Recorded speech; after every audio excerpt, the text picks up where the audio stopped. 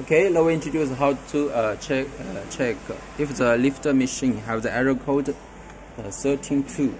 First step we check the uh, anti cover. Yeah, this is anti cover. We can test. Yeah. Okay. We can admin login.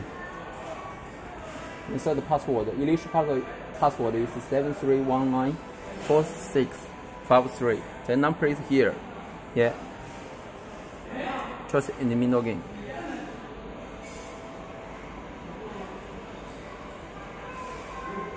Set up, uh, set up toy. Open it. Okay. Yeah. They have the uh, default diaphragm switch. Yeah. We can just close. Yeah. We can see. Yeah. If normally here, we can test again. Open. Close. Yeah. This is normally state. Okay. So open again.